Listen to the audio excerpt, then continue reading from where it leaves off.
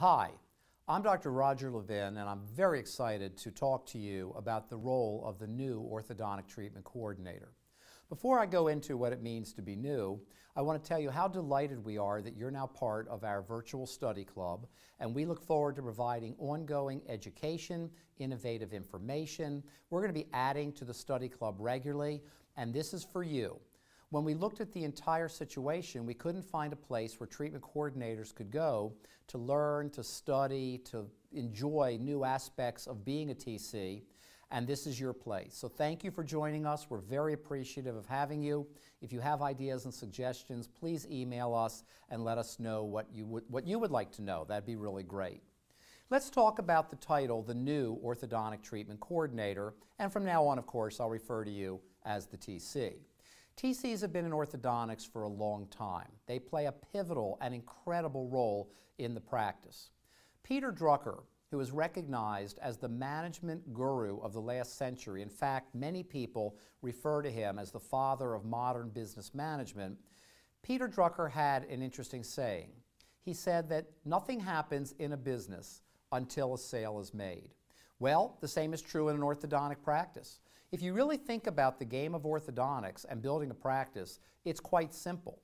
Do your marketing, attract referrals, close those referrals, perform the ortho, say goodbye, and keep that cycle going. I love simple businesses. Now, I'm not saying that running an ortho practice is simple. In fact, I think running the entire practice has a lot of complexity. And in our consulting programs at Levin Group, we're constantly working on reducing that complexity so we can increase production. But for our purposes with the TC, your role is the sale. And as I've been explaining to people, the definition of the new orthodontic treatment coordinator is a salesperson who has the ability to close cases with a new type of consumer. The challenges that you face are bigger than ever before. Let's see if I'm on track. Number one, there are more shoppers. Many mothers are making two or three or even four appointments before they walk in the door. Number two, Mothers are checking you out before they ever come in. They're using the internet, they're talking to friends, they're talking to their general dentist. Number three, when people come in, they're not automatically buying. I had a saying before the last recession that the great thing about orthodontics was parents weren't saying, Is my child going to have ortho? They were saying, Where is my child going to have ortho? And that made the game easier because somebody was going to have this parent and child commit to treatment. The question is, would it be you? Number four, more parents are delaying treatment. We're hearing more parents saying, well, yep, we're going to do this, but we're going to wait about six months. Well, unfortunately, that turns into its own quagmire where they don't get back. And because most ortho practices have very limited or poor follow up, which is now part of the role of the new orthodontic treatment coordinator, we run into a scenario where those patients are lost as well. I think we're going to see a lot of kids become adults during that were kids during the recession years that become adults that did not have orthodontics, and maybe they'll be adult patients, but we may or may not be around when that happens. So, for our purposes today, we have to understand the role of the new orthodontic treatment coordinator. New does not mean that you are not qualified to do this job. It means that things have changed. And if you don't change as the socioeconomics and the consumers and the purchasing habits change, then your results just won't be as good. We have a target at Levin Group, and this is a target you should aspire to. It's a target we want to help teach you how to achieve, which is we want 90% of all the potential new patients to accept treatment in your office after one appointment. Now, the after one appointment doesn't mean we don't have to follow up, confirm, include mothers and fathers. There are other parts to this picture which you'll learn about by working through your study club materials on this website. That's why it's called a virtual study club. But having said that, let me repeat the target again. Your goal or objective is to close 90% of all the cases that come into the office in one appointment, including follow-up. Now, that changes the paradigm. A paradigm refers to a belief, and there's many TCs right now that are still operating the way they did prior to the most recent of the recessions. And this recent recession, and here's where you get some new education, has changed the way consumers think. There were two massive studies done on consumer purchasing psychology, or in your case, how parents buy orthodontics. Because what you need to realize is that even though an orthodontist is a doctor, I am a general dentist, I'm a doctor as well, so I kind of get you know, a practice. I ran a practice for 10 years, so I've, I've lived your life, I've lived your doctor's life pretty closely. And to that end, sometimes we think that we're what I call a carve out. That because we are a medical practice, an orthodontic practice, parents will not behave the way they behave at Walmart or Costco or Neiman Marcus or Nordstrom or in a fine restaurant or in a jewelry store. They see us differently, we think. They view us with more respect, we think. They make decisions to buy our orthodontics differently than the way they make a decision to buy a flat screen TV at Costco. Well, that was true until that recession changed everything. And now the consumer purchasing habits have shifted. And as a person that sells a service, you need to know about this. And you need to become the new orthodontic treatment coordinator. So, what it boils down to is that, first of all, the consumers are treating orthodontic practices in the same way they treat the retail world. They're looking for information, they're looking for value, they're looking for deals, they're looking for payment plans. They're trying to decide where to spend their money because they don't have enough money to spend in too many places. The other factor that's changed is that people who have more money, one of the studies focused on consumers with incomes over $200,000 a year. That's a lot of money. And yet those consumers are now behaving the exact same way as people with much lower incomes. So you may be thinking, well, hey, if I had $200,000 a year as my income as a treatment coordinator, I wouldn't worry about what I'd buy. I'd buy what I want, I'd buy it where I want, and I'd get it when I want it. Well, because we have not experienced uh, what some of these higher income people have, we don't understand that they are now behaving as if they had lower incomes. They have the money, but they are concerned, they're more frugal, they're asking more questions, they're they want more value. They want proof that they should go ahead and make a commitment to your orthodontic practice. The third item is also interesting, is that people are taking longer to make buying decisions. So when I say close in one appointment, I'm including follow-up cycles of one week to six months. Does your practice have a rigid, systemized, regimented method to, to have follow-up? Without that, businesses today are in trouble because many people will not make a buying decision at what was always called the point of contact. And if we leave it to them to get back to us, they hear from other mothers about other offices, they hear about better fees than maybe what your office is, even though they don't really understand what's included or records included or not included. You, you know the whole thing. And the reality is, these parents are making purchasing decisions differently. Now, I would love to be a treatment coordinator. Why? because I understand the goal. I love a situation where I know the goal. The goal is to get them in and get them closed. We're teaching some amazing new things. For example, every new patient must be seen in seven days or less. If you are in an area with one of our clients and they go to the client office first, there's a 90% chance you will never meet that patient. How do I know that? Because part, a part of our company is called the Levin Group Data Center. We have track huge amounts of data. We are one of the largest data collectors in the profession. We share data with a number of national organizations, and we know that our clients are closing 90% of the new patients who come in that are closable. That doesn't include observation patients, which is a webinar for another day. So, understand that these parents are coming in, we need to get them in quickly, and then we are teaching the new orthodontic treatment coordinator method, which is a 60 minute, minute by minute, script by script appointment. We are not in the old days, which were only a few years ago.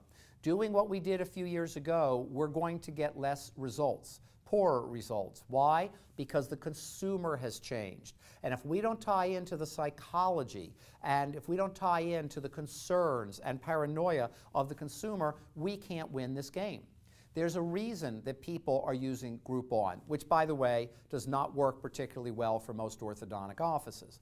There's a reason that people use coupons. There's a reason that people price shop. There's a reason that people don't accept treatment that they need for their children or themselves. The adult orthodontic market is a huge market, and yet it's a very different type of sale than dealing with a parent and child.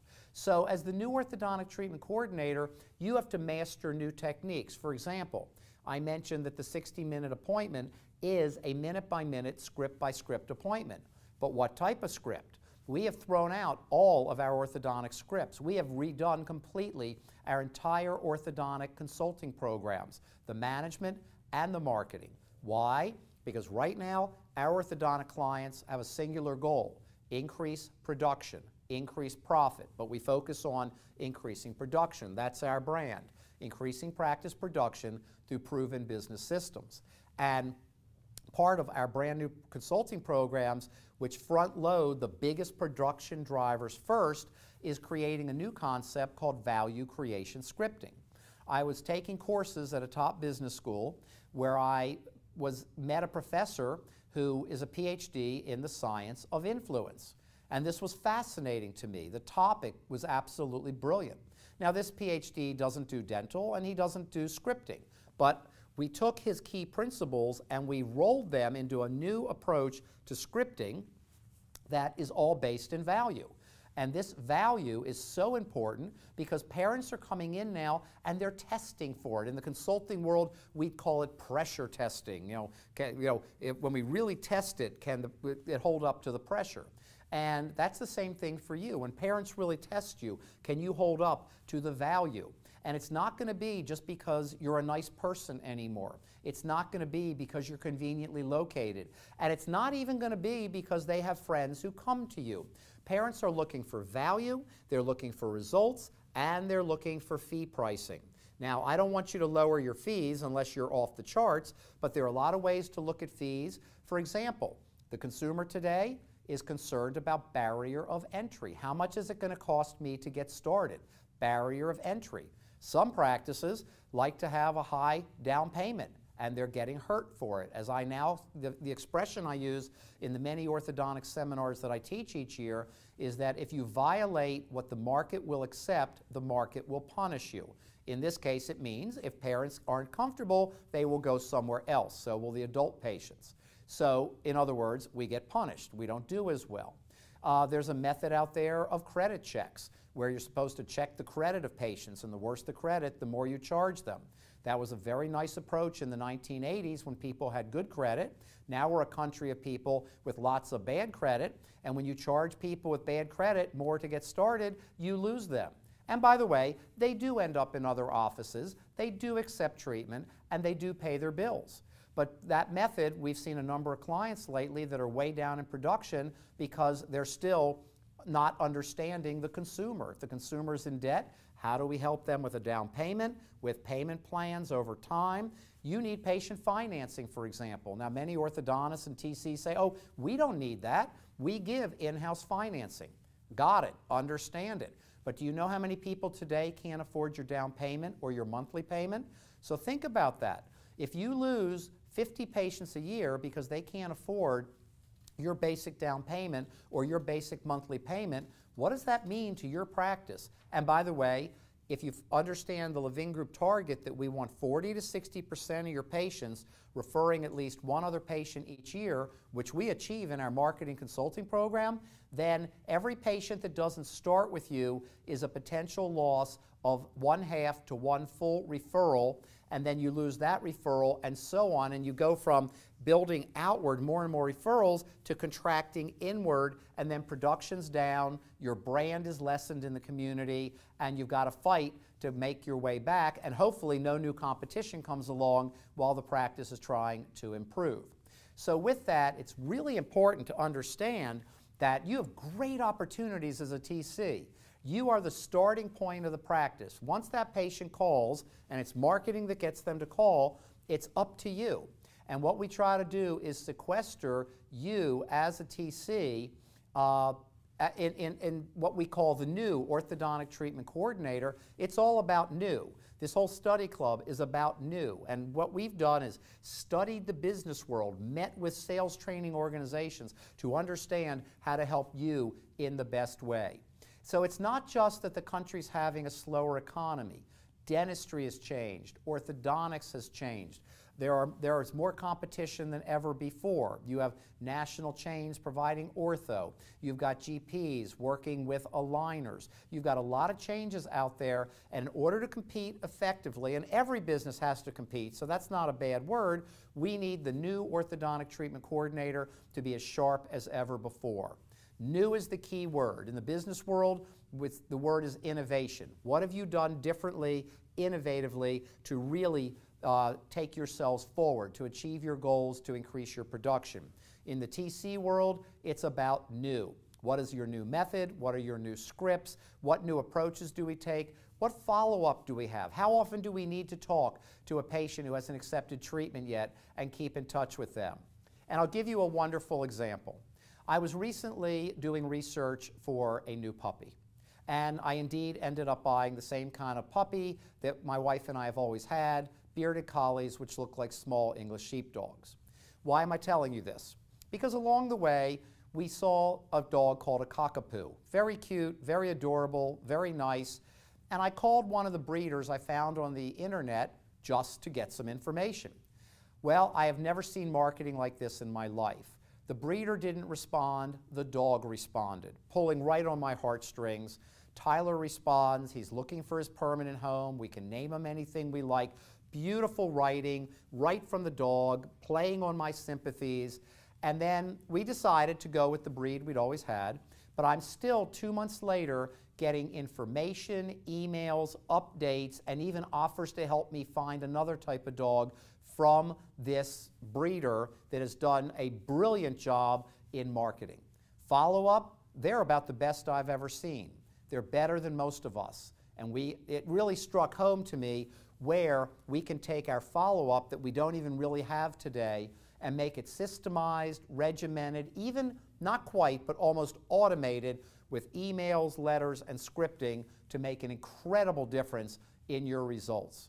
Remember, the new orthodontic treatment coordinator, it's a totally new skill set. You will be closing 90% of the patients who come into your practice within one visit or within six months or less of that time frame. Naturally, we want to close most of them in one visit or a couple of weeks. That's the norm. But some people will need three or four months to work it out, but they're not going to end up with you if no one else has ever communicated with them, contacted them, built value, or offered to help them.